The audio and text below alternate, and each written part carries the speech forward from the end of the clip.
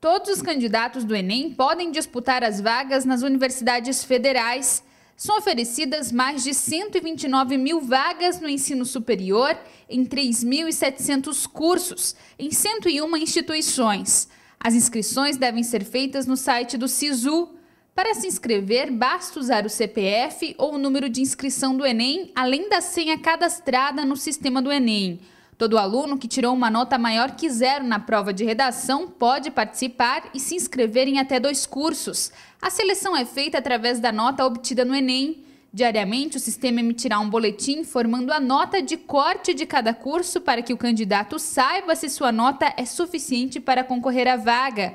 O resultado da seleção será divulgado na primeira chamada, no dia 14 de janeiro.